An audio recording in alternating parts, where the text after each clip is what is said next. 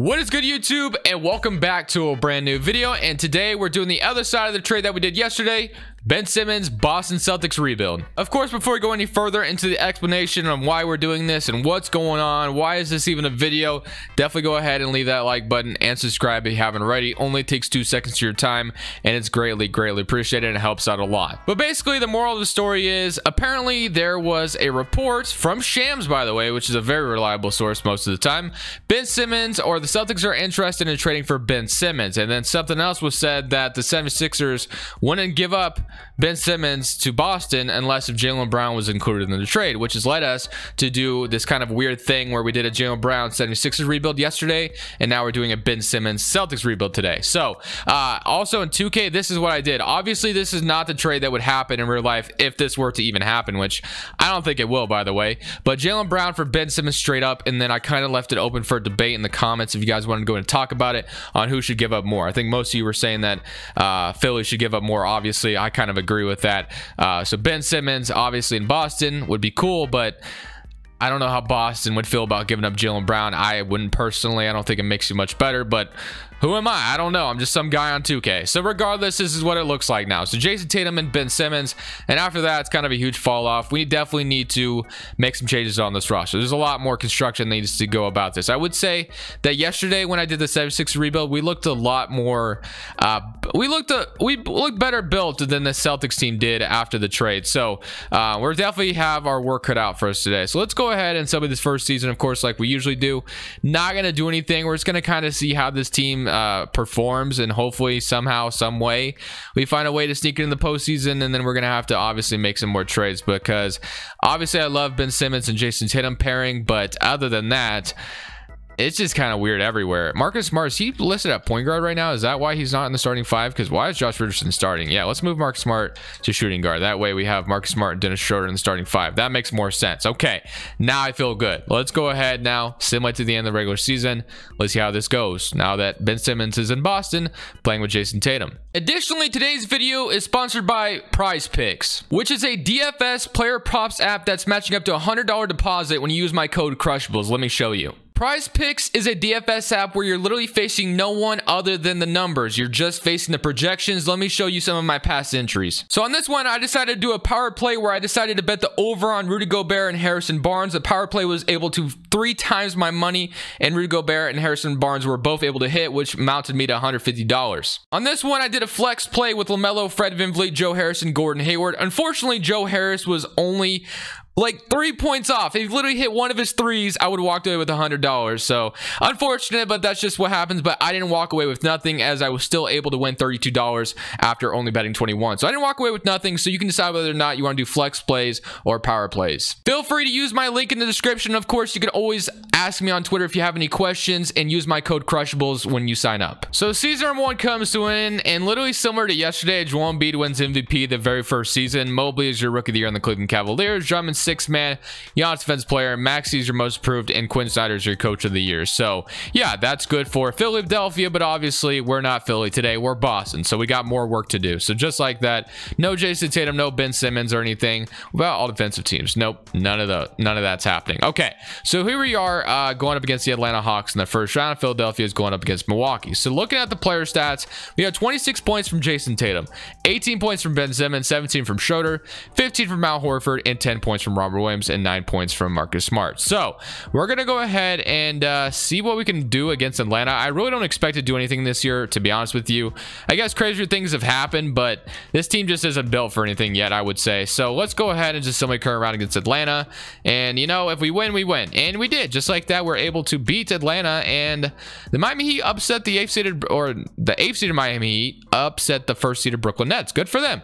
Now we have the New York Knicks and the 76ers on the other side of the bracket. Uh, Jaylen Brown, Joel Embiid pairing sighting, obviously. And then we get the AFC to Miami Heat, who just upset the Nets. So this could go either way. Somebody current round, and we are going to sweep them.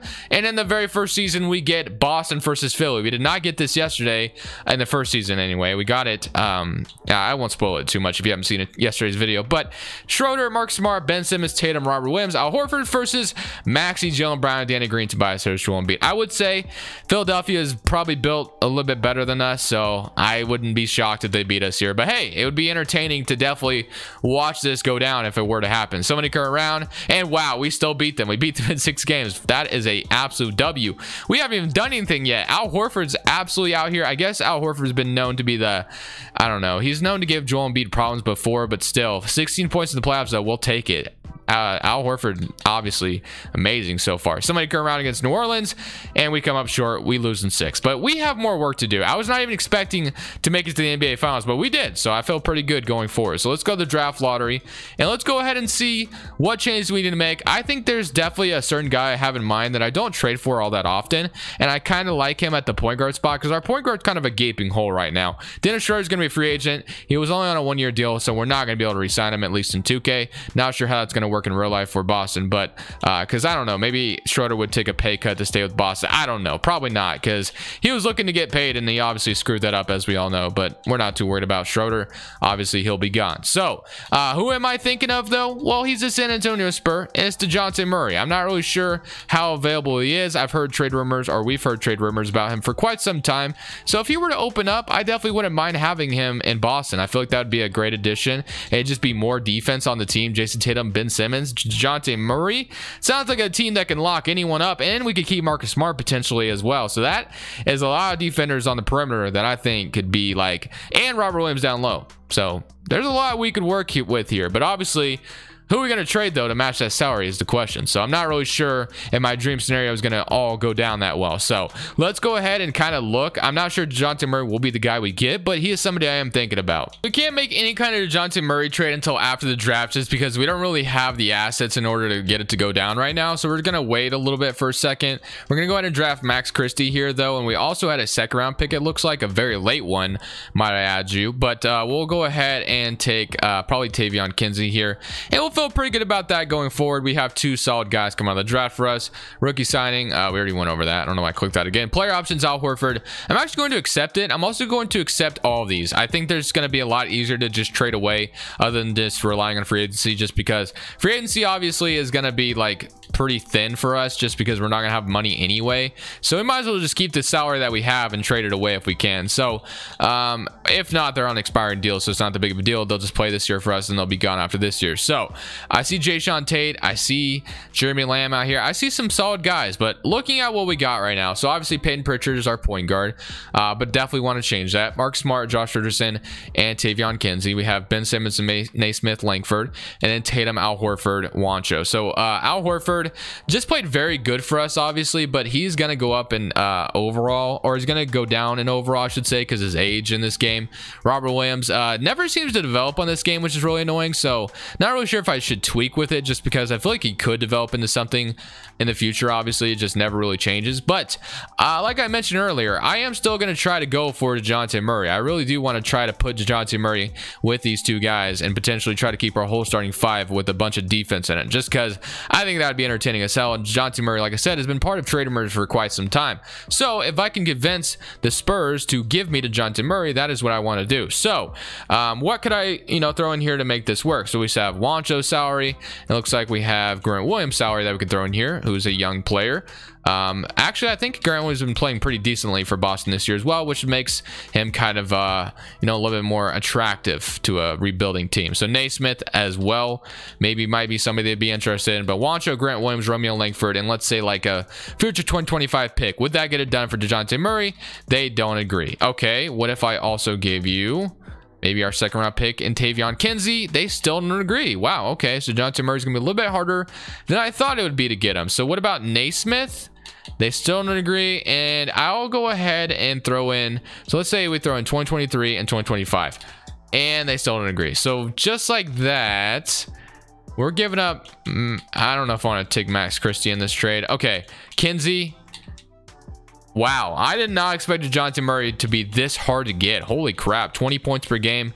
San Antonio is just not budging I wanted to give up Dejounte Murray away. So, definitely was not expecting that. Grant Williams, Juancho. Okay, well, um, wow. Okay, well, what if we took, let's see, we're to have to, Juancho Kinsey. We're still to need $6 million in this. So, Grant Williams is obviously to be have to be a part of this trade. And then let's throw Nesmith in there. So all this for him. No, they don't agree. And I'll throw in this pick, They still don't agree, man. Damn, this is a lot harder than I thought it was going to be. I thought DeJounte Murray would be easy to get, but no, that's not the case at all. If we can't get to DeJounte Murray, can we get Fred VanVleet from the Toronto Raptors, which is a team uh, that might be selling um, in 2K in real, or not in real life, in 2K, which they are. So Nesmith, Christie, Josh Richardson, a 2025 pick for Fred VanVleet.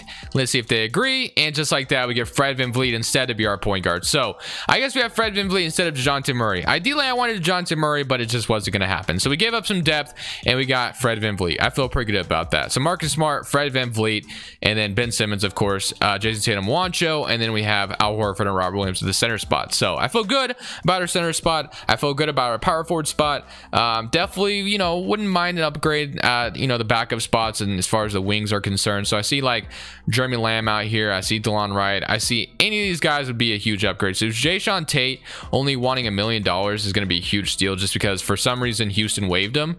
Uh, so I'll take advantage of that. Jae'Sean Tate, welcome to the team. And I think we can still sign Jeremy Lamb, which we could. So Jeremy Lamb, we're going to also bring in. So just like that, uh, I think we had a pretty good offseason. So we bring in two nice additions off the bench in Jeremy Lamb and Jae'Sean Tate. We have Jayson Tatum Juancho, Al Horford, Rob Williams, and we're bringing Fred VanVleet. Uh, one thing I do want to make sure of, though, real quick, is if uh, Fred VanVleet's peak end age is not like crazy dumb, just because it usually is. So it is at 29. I'm going to move it to like uh, 33. We'll go ahead and have it be like 33. So just like that, Fred VanVleet should be good for us for a while. So now I have Ben Simmons, Jayson Tatum, Fred VanVleet, Al Horford, Robert Williams. So is this championship material? Not sure. But uh, like I said, I really wanted DeJounte Murray. It just was not going to happen. Uh, San Antonio was just not about it. I would have had to give up like a whole arm and a leg to get him, which I kind of respect. Like, I get it. Jeremy Lamb, or uh, not Jeremy Lamb, DeJounte Murray is a solid player. I just was not expecting to cost that much, at least in 2K. So, respect for San Antonio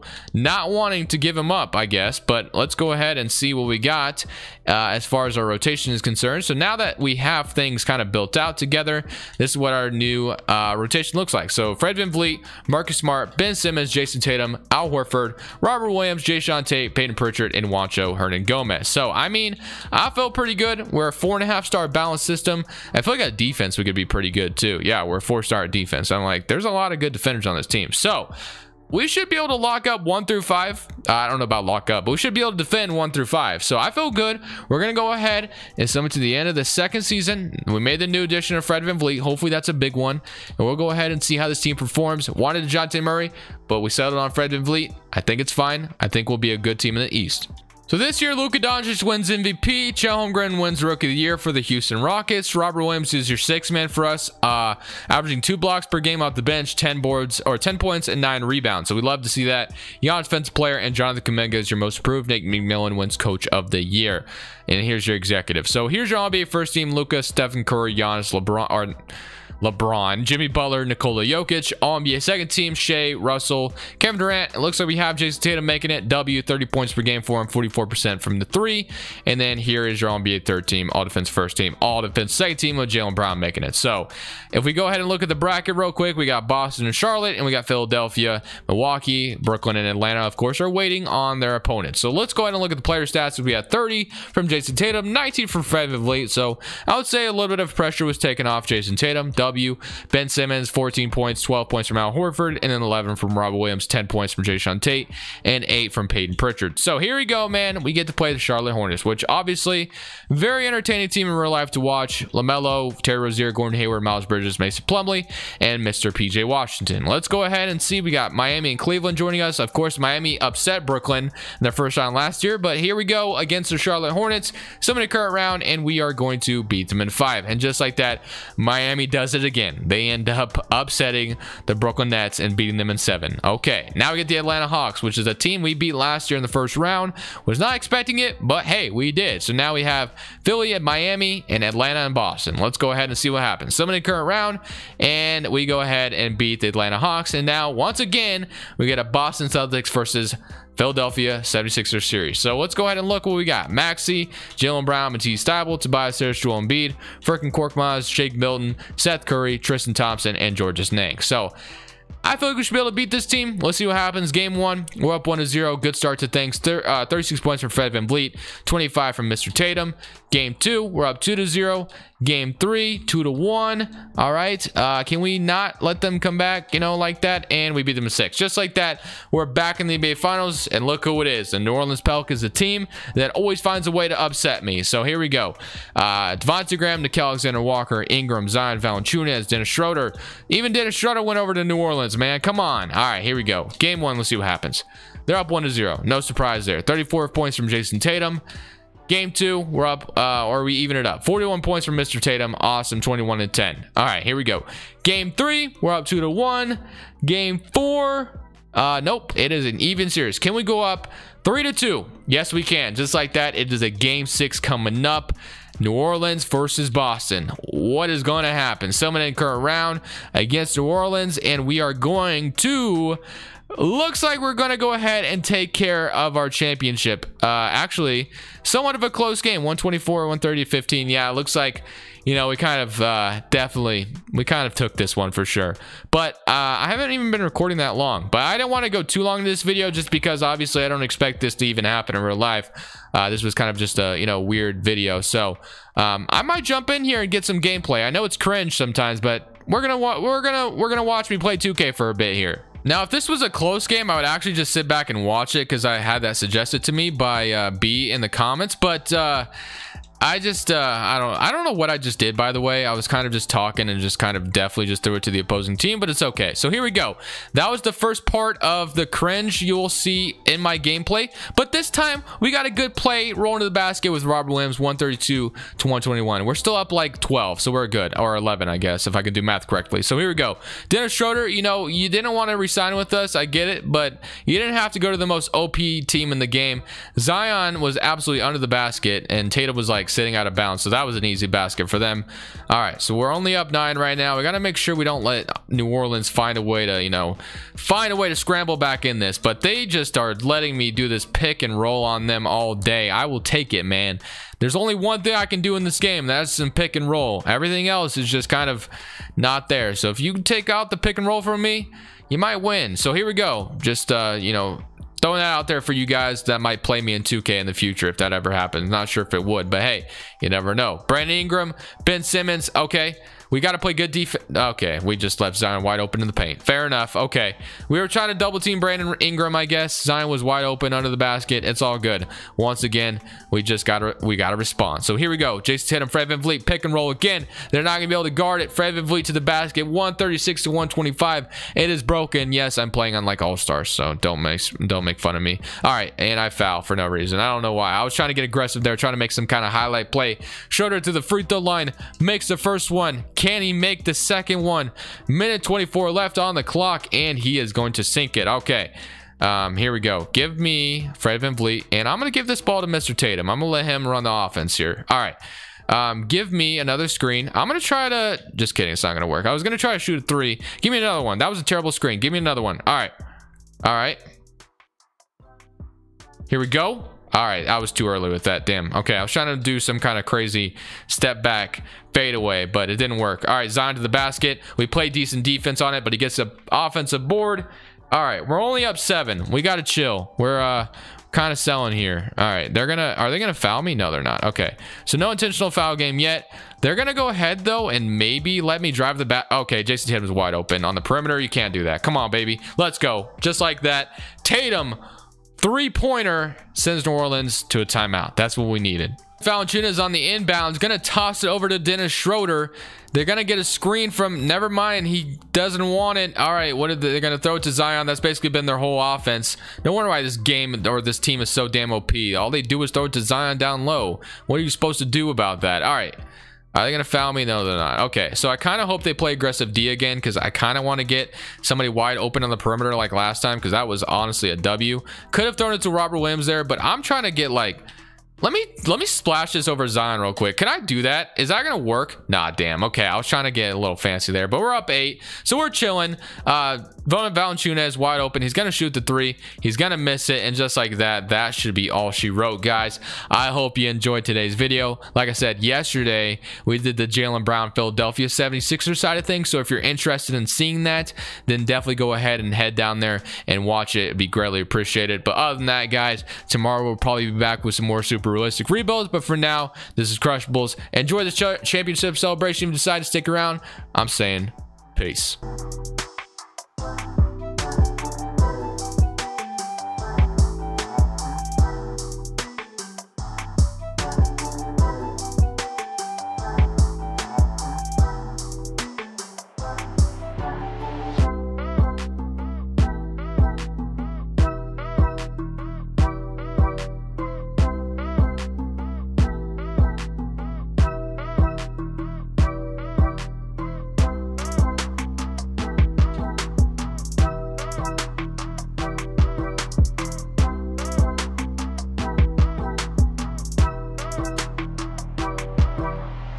Thank you guys so much for watching. Make sure you click here to watch another video that I know you'll love.